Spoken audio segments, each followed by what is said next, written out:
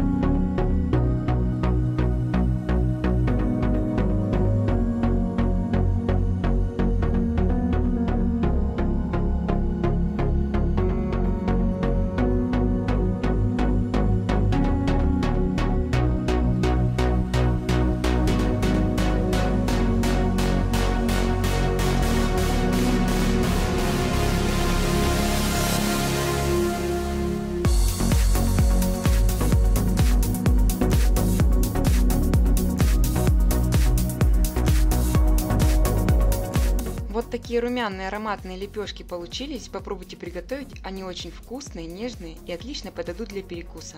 Подписывайтесь на мой канал, ставьте лайки, пишите комментарии. А также не забудьте нажать на колокольчик, чтобы не пропустить новый рецепт. До новой встречи, друзья!